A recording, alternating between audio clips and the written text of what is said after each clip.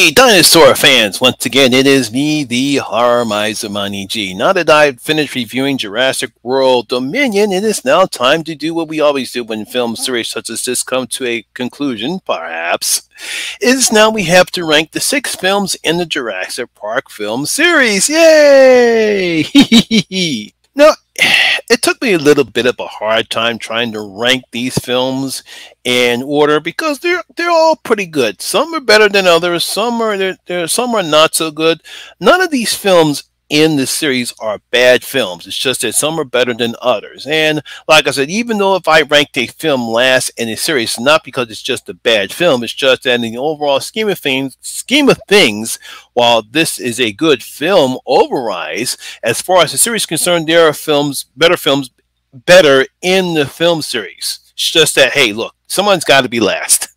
So Obviously, coming in at number six will be Jurassic World Fallen Kingdom. Now, it's just like with Jurassic World uh, The Lost the Lost World Jurassic Park, when you have a film such as uh, Jurassic World was, and you come up with Jurassic Kingdom, and it was a bit of a letdown. We expecting a lot of little bit more uh, when it comes to the second film of a film series, and unfortunately, Fallen Kingdom didn't live up to the hype that everyone expected to be.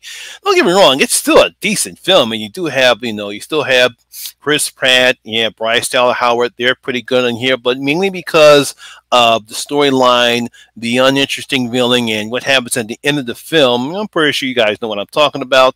It sort of did the film in. So coming in at number six will be Jurassic World Fallen Kingdom. Coming in at number five will be The Lost World Jurassic Park. Now, of course, we weren't expecting the sequel to Jurassic World to live up to the hype. Yeah, we still got some nice looking dinosaurs. We only have Jeff Goldblum in this one, but I did like Julianne Moore's character in this film. Uh, the best character in The Lost World, I believe is, if I pronounce his name right, Pete Postlethwaite. I think I probably messed up his name as Roland. I think he is the best character in the film. He was a no nonsense hunter. He didn't want to pull up anybody anybody's BS. BS. Because he knew what he was doing right there. He just wanted to hunt a T-Rex. And his motivations are quite clear. I mean, he has a great speech that he talks to with uh, Vince Vaughn's character when he goes and tells him that uh, on this island lives the second greatest predator that ever lived. It's only problem that the number one's greatest predator take him down. And he has a great motivation. So I like that in this character. He's the only good thing about uh, The Lost World. So coming in at number five is The Lost World Jurassic Park. Coming in at number four will be Jurassic World Dominion. And like I said before, uh, my review, which I'll leave a card up there if you haven't seen my review for Jurassic World Dominion, I'll leave a card up there. Um, if the film is better than Fallen Kingdom, it does make up for some of the problems that the uh, the Fallen Kingdom have, uh, and again, but still it has the same things that we've seen before in all the other films in this franchise. And unfortunately, that's the problem with this film. Well, we do have some great set pieces, and we do get some nice action. Again, like I said before in my review, it's nice seeing all the legacy characters from uh, Sam Sam Neill. Laura Dern and Jeff Goldblum, all their characters are back. We get some good interaction between them, along with uh, Chris Pratt and Bryce Dallas Howard's character. But eh, it's something's missing. It's just something missing. But it's better than Fallen Kingdom. That's why I have it ranked. That's why I have it ranked number four on my list. Coming in at number three will be Jurassic Park 3. yeah, uh, Sam Neill returns this time as Dr. Uh, Dr. Grant he gets tricked into going into because they think he is on Isla Nublar, but this is Isla Sorna. So he's never been onto this island, so they got confused because their son is there. And unfortunately, they get trapped there, and we get a lot of velociraptors here. You can never really go wrong with velociraptors, and I think that's what makes this film great, is because of the velociraptors that uh, that are very highly intelligent.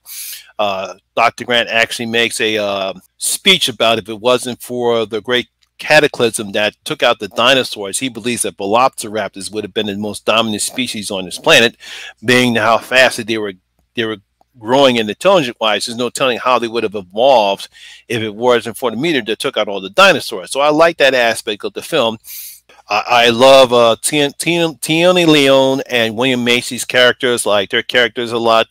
I mean, I like Billy's character. He was uh, Dr. Grant's uh, right hand man, and he does something in the film. He steals the raptor's eggs, and Dr. Grant gets pissed off. But we really come to understand that he wants to be the astronaut. This is the first time he gets a chance to do something other than picking up bones. But uh, coming in at number three is Jurassic Park 3. Coming in at number two is Jurassic World. Yes. Yeah, released in 2015. I had to get my years right. released in 2015. Uh, obviously, we didn't have any other dinosaur films that come out since uh, Jurassic Park 3 came out. They finally decided to create this new trilogy, starting with Jurassic World, where we actually see the uh, uh the idea of John Hammond's uh, idea of showing prehistoric monsters in an amusement park work to perfection, but of course we know it wasn't going to last. I, I love the inclusion of the Indominus Rex. I love Vincent uh, Vincent Del Toro's character, Vic, uh, Victor, uh, the uh, military guy that wants to take the Velociraptors once again as military weapons. Uh, obviously, Chris Pratt and Bryce Dallas Howard are pretty good in this role right here. Uh, yeah, it was a pretty good film. It was a good callback and a great way to start this new Jurassic World trilogy. So coming in at number two is Jurassic World, and of course by no means. Everyone knows. I'm pretty sure this is number one on everyone's list. The original Jurassic Park. What a fantastic film. Um, you never really thought, how can you display dinosaurs in film and make them look believable without looking fake. And you really have to give Steven Spielberg and Stan Winston's credit, especially Stan Winston, and how he used computer uh, CGI and animatronics to make the dinosaurs look real and authentic. Uh, like I said before in my review of Jurassic World Dominion, that scene where um, we see Dr. Grant and Ellie Sattler look at the Brontosaurus trying to eat the tree, and how well that scene looks blended together between them looking at the dinosaur, and how fan fantastic that scene is. And then you see uh, Richard Attenborough say that great line, Welcome to Jurassic Park, and you have John Williams' incredible score playing in the background.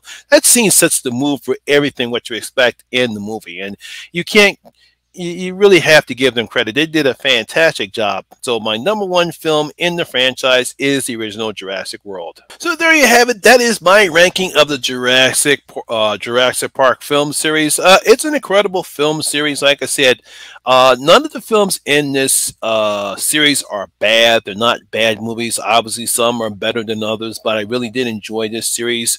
I'm pretty sure uh, once all six films become available on Blu-ray and uh, Blu-ray or 4K, I'll definitely get this, uh, include this in my package because I want to have all six films.